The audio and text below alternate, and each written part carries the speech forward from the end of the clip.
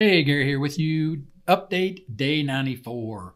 We're inside of Grooveblog taking a look at what we have. If you head over to post, you'll see that this is still in draft. I haven't had a chance to edit that yet. But if you head over to page 13, you'll be able to see when we get that published, that'll be filled up and then we'll have 14 pages of post.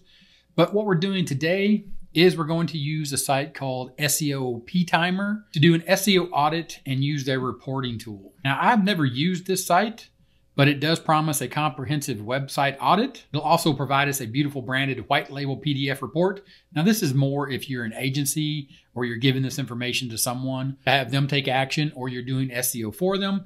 But just to get a full picture of what SEOptimer is all about, they also include a free SEO toolbox that you have here that you can see does meta tag generation, keyword generator, a robot.txt file, and a .htaccess file generator as well as an XML sitemap generator. So it's free and it's one of the many tools, the SEO tools, where we can take a look and we can work with these tools to do like what it says here. Getting your website to rank in Google is harder and more competitive than ever.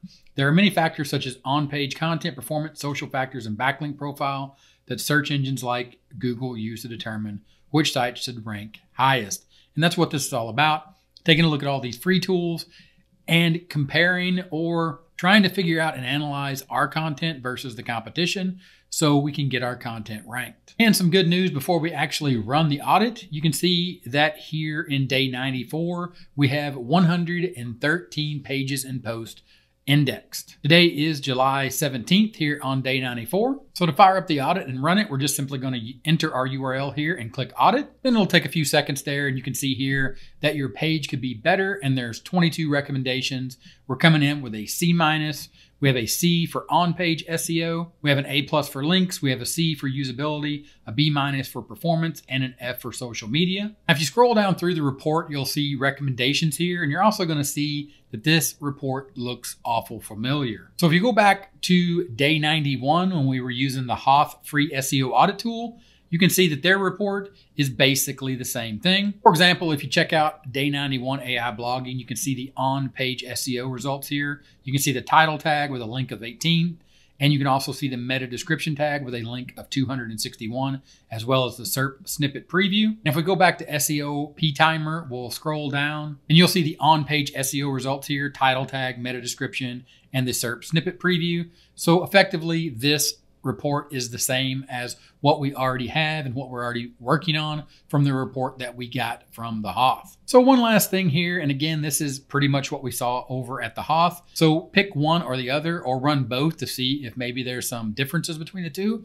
But the idea here is the rankings. We're looking at keywords. We can see our position. We can see our total searches and our estimated traffic. So these are the things that we definitely want to look at in these reports. There's also some performance results here. Now, if you are running a self-hosted blog, if you have have your own hosting and you're running WordPress, this is definitely something that you want to pay attention to and possibly upgrade your hosting or maybe work with your hosting to see if they can fix these things.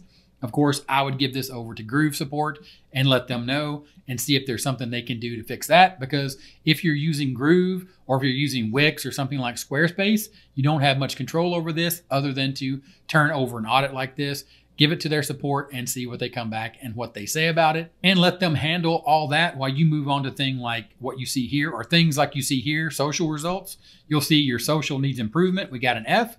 That's because we don't have any social media presence, but you can see things like your Facebook open graph tags your page is using a Facebook open graph tags. So you can look at the details like that. But we don't have a Facebook pixel. Our Twitter is not connected. We don't have an Instagram or a LinkedIn connected. And we probably never will on this site. This site that we built here over this 100 day case study. Again, this 100 days is about creating the content as fast as we can, but also make sure that we rely on the fact that we need to focus on creating quality content and making sure that we address the questions or we provide the best information that we can while letting the AI generate the content. If you're having fun and you're enjoying this and you're looking forward to the conclusion up when we get to 100 days or as we move up through each day as we head out to 100 days, then give this video a thumbs up. Let me know what you think in the comments and I'll see you in tomorrow's update. Bye.